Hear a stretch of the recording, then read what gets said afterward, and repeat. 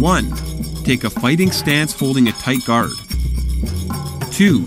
Bring the rear knee up while maintaining your hands up. 3. Bring your front knee up while maintaining a tight guard.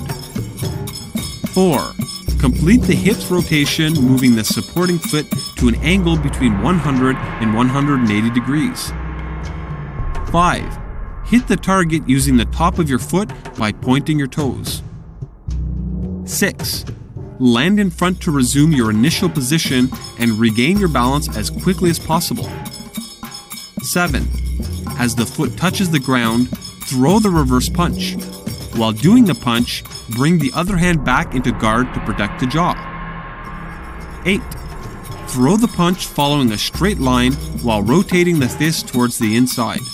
Remember to use the hips to complete the weight transfer and maximize the impact. 9. Keep the other hand up to your jaw. 10. After striking with the two biggest knuckles, quickly bring your fist back to position to resume the fighting stance.